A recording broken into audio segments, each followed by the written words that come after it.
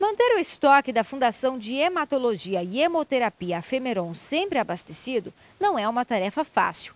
O Banco de Sangue chega a distribuir mensalmente cerca de 3 mil bolsas de sangue e hemocomponentes para abastecimento de hospitais em todo o estado. Captar e fidelizar doadores faz parte do desafio. A dificuldade que nós encontramos talvez a maior dificuldade seja a vida atribulada das pessoas. As pessoas não, não sofrem de falta de solidariedade, e sim falta de tempo. E é pensando nas dificuldades que estão sendo criadas estratégias para atrair o doador. Uma delas é ampliar o horário de atendimento da unidade de Porto Velho aos sábados e, ao invés de fechar ao meio-dia, fechar às seis da tarde.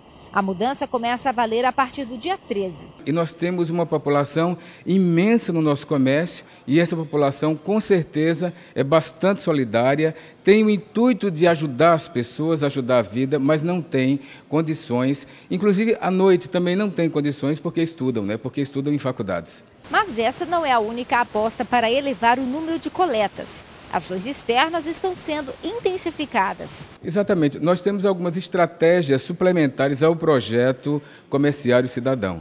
Então, aquelas empresas que têm 100 e 150 funcionários, empresas de vigilância, empresas de ônibus, que porventura se comunicarem com a Femeron nós, e disponibilizarem pelo menos é, 30 doadores, tanto nós podemos ir buscar esses doadores, como nós podemos montar toda a logística do sangue e levar até este comércio, até esta empresa, contanto que eles disponham de um ambiente eh, refrigerado, não é que a gente possa se instalar.